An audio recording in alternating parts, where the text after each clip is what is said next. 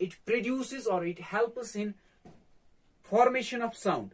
Sound has three properties remember. Sound has three property. One has one, one it is pitch volume and another is resonance.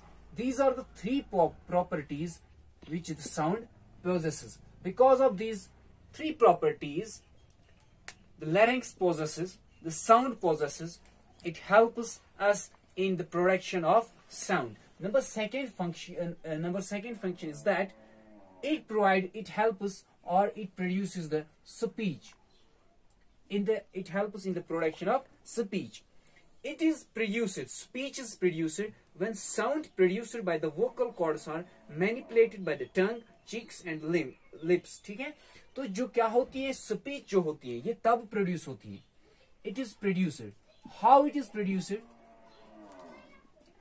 कब ये produce हो जाती है? When the sound जो sound होती है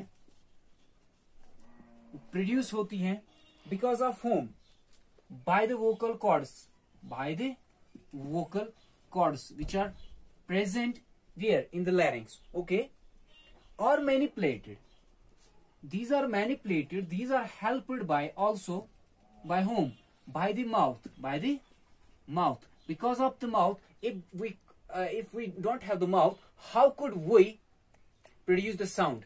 Also if we don't possess a tongue we could not be able to produce the sound. Also if there will be a problem in the cheeks we will not be able to produce the sound. So for uh, producing of the sound for production of the speech we should have one thing uh, uh, to remember that is the vocal cords are responsible. And these vocal cords are helped by the mouth by the tongue by the cheeks. And these three things are necessary for the production of what? For the production of speech. Okay? And next function is protection of lower respiratory tract. How it helps in the protection of lower respiratory tract. Okay let me discuss the third function that is protection बचाव। बचाव किस चीज़ को करना? Protection of lower respiratory tract why it help और why it protect the lower respiratory tract as you all know during swallowing जब हम अपने खाने को, अपने गजा को नीचे निगल जाते हैं, ठीक है? तो उससे क्या होता है? During swallowing of food larynx move वो मूव होता है अपवर्ड ऊपर की ओर, ताकि वो क्या करे? ब्लॉक करे block the opening block the opening कौन सी ओपनिंग जो रेस्पिरेटरी ट्रैक में चली जाती है. इनटू इट सो उससे क्या फ़ायदा होता है?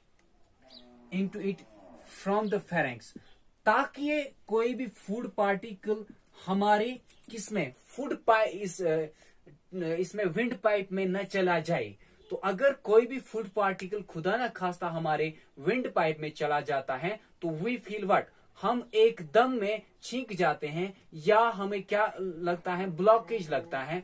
हमें डिस्निया लगता है। तो हम उसको बाहर करने की कोशिश करते हैं। that is why the larynx is the uh, is an important organ for the blockage of or for the protection of lower respiratory tract now the another function is it is passage it is a way passage way for or of ear. it is a passage or it is a way for the entry of ear. जो larynx होता है, उसको link होती है किसके साथ? As you all know larynx has the link with किसके साथ लिंक होती है?